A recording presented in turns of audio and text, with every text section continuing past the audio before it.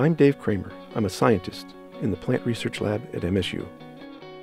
I want to understand how plants work, how through photosynthesis they use sunlight to grow and power life on our planet.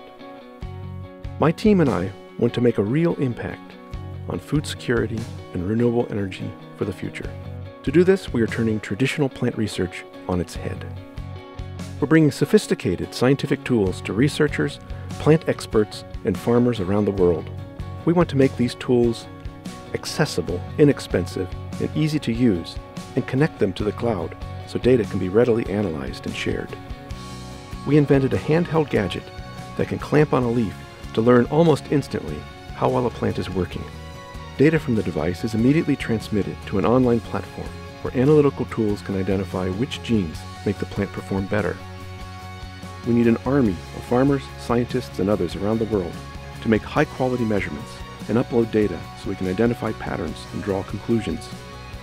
By empowering that massive community, we can maximize big data for big solutions, from improving crop productivity around the world to increasing the efficiency of photosynthesis so one day we can realize the dream of sustainable renewable energy.